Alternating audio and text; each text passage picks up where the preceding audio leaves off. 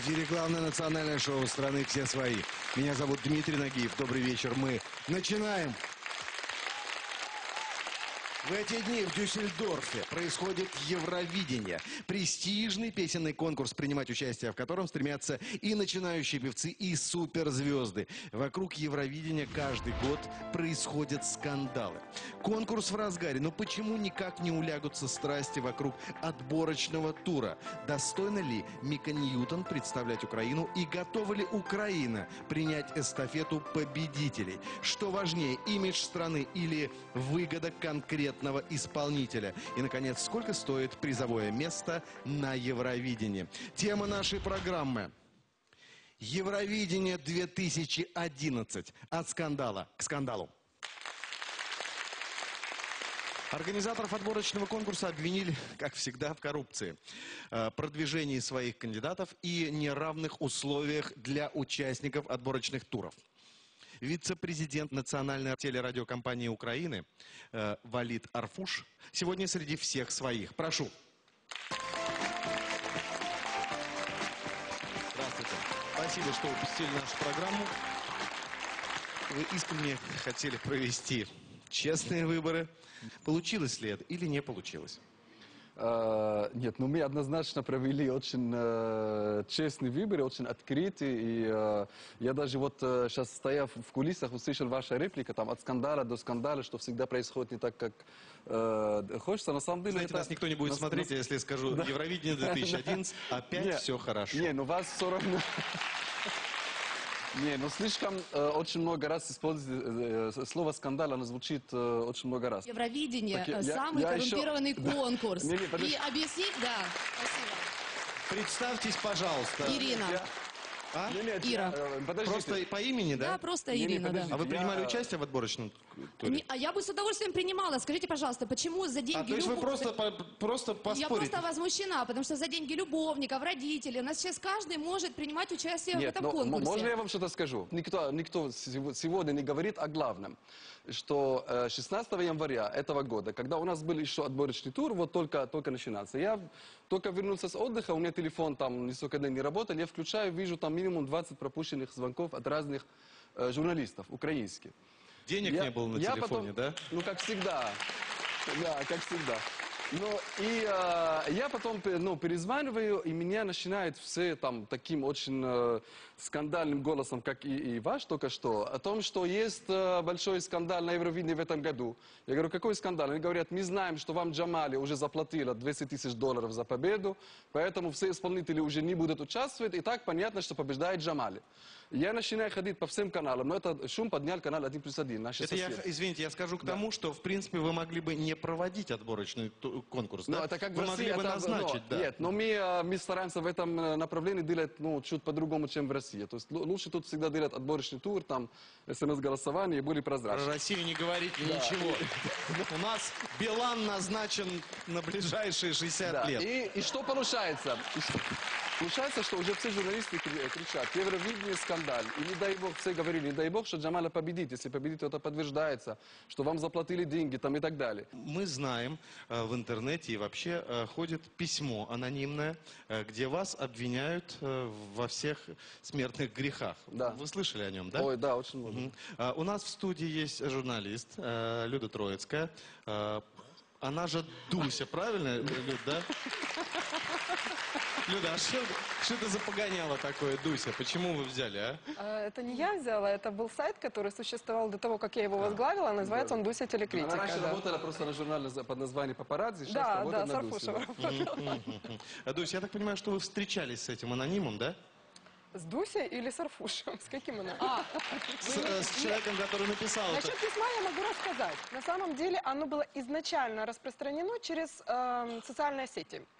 Я еще помню, что мне его подруга прислала э, ссылку на него в пятницу. Я на него так э, слабо отреагировала, сказала, Э, ну, может что в быть, письме? Чтобы э, массовый письме, зритель к тоже знал. сожалению, для Арфуша, вот я вот слушала, он говорил, что только 16 января его начали обвинять в том, что он благоволит э, Джамале.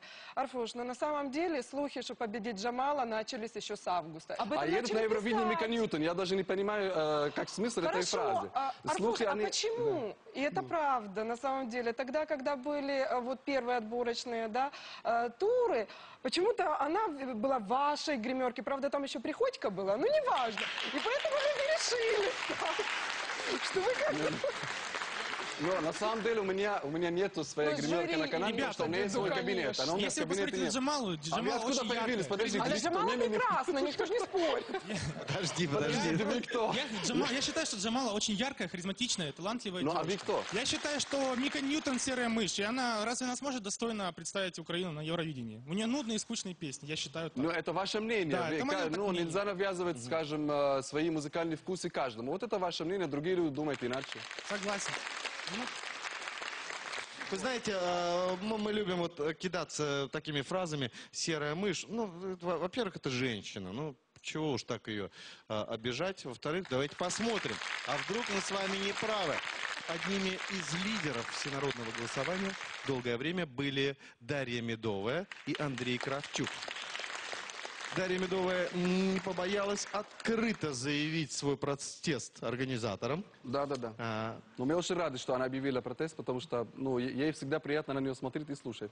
Мне очень нравится, что вы с такой радостью воспринимаете все протесты, письма в свой адрес, да. Но, Помидоры, сейчас полетят а помидоры. еще? Мы очень рады, что вы кидаетесь свежими помидорами, яйцами. Даша у нас в студии сегодня. Я не говорю Прошу. про помидоры, я говорю про протест. Даша не одна.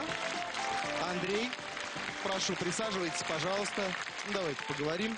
Почему-то последнее время здесь, вот на одной шестой части Сужа происходит такая вот передряга, когда народ в недоумении. Почему едут эти, хотя мы любим этих? Прошу. А, Ну, вы знаете, я думаю, что как у любого большого такого серьезного мероприятия, как отбор, будет всегда какие-то ошибки и ляпы, так сказать, потому что человеческий фактор организовывают люди, и, несомненно, будут какие-то ошибки. Но у меня был вопрос единственный по поводу переголосования, потому что я была не согласна с тем, что переголосование э, нужно только до трех людей. Для Джамалы, для Златы и для Мики Ньютон. Я считаю, что должны были переход- переходить... Вы, вы слетели на какой э, стадии? Я четвертое место заняла. Четвертое место. Да. Это, это вы, да? Да, это я. Какая вы, какая вы, а? Хороша. На самом деле, на самом деле я, я могу ответить. Ну, во-первых, вот э, я потом удивился, когда вы начали протестовать, потому что вы, ну, и так уже много было для вас, э, то есть вы очень много получали во время отбо- отборочного тура для себя, То как хватит в уже, плане, да? да, в плане пиара. Это во-первых. Во-вторых, мы получали письма э, именно претензии, не, не, не спрашивают, почему вы не победили, а все спрашивали, почему Джамаля не побеждала. Поэтому для нас была в первую очередь ответ на письма зрителей, это чтобы Джамаля участвовала в этом переголосовании, или как мы его назвали, там, суперфинал. Э, Не стоял ни, ни разу вопрос о том, что давайте просто делаем общее переголосование, потому что что-то кому-то не нравится. Ну, в этом есть справедливость, да. да? И получается, что и вы еще хорошо о себе заявили на пресс-конференции, а тоже э, э, мой давний друг э, Андрей Андрей, Кравчук. Кравчук тоже хорошо заявил на пресс-конференции. Так, и для вас, я думаю, прочим, я ну, это более чем... э, то Абсолютно. То Это была это прекрасно, инициатива. то, что вы пришли, А в чем вы поговорили. поддержали Дашу? Да. Э, Дело в том, что мне накануне утром был эфир на одном из каналов телевизионных, где я высказал свое мнение о том, что если переголосование происходит для трех людей, следовательно, мы все с вами вместе признаем факты каких-то манипуляций и махинаций. После этого эфира ко мне позвонил Валит и говорит, ну, у тебя очень стройное мнение, очень классное мнение. Вот у нас сегодня в 11 утра пресс-конференция. Приходи на эту пресс-конференцию, и ты заявишь это мнение для прессы. Я пришел на эту пресс-конференцию и понял, что я там был лишний на этом празднике жизни, потому что там совершенно что-то уже такое другое происходило, и я понял, что мною просто в очередной раз э, воспользовались. Как-то лишний, когда Да. сама Ангела Меркель что-то там сказала в ваш адрес, да? Э, Не только Ангела Меркель. Вы знаете, вот... э, Господи, зачем, чего Ангелу-то трогали? Дело а? в том, что автор стихов... э, Всех, кого знал, Андрей приложил, а? Не, автор стихов, которые я пел, Ну, ну, ну, ну. написал э, компози- э, поэт, который э, является сотрудником э, м, к- э, Бундеса, где работает Ангела Меркель. Они следили просто за развитием этой песни как частные лица, просто как люди, которым это нравится. Разве это клип? Извини, но это Я прошу прощения, сельский это вариант концертное выступление. клуба, между прочим. Ты, э, ну извини, Это Я прошу пожалуйста, прощения, но это у концертное тебя есть выступление. такие шикарные песни, вообще неимоверно. А это все серость, это не первое место и даже не десятое. Я прошу прощения,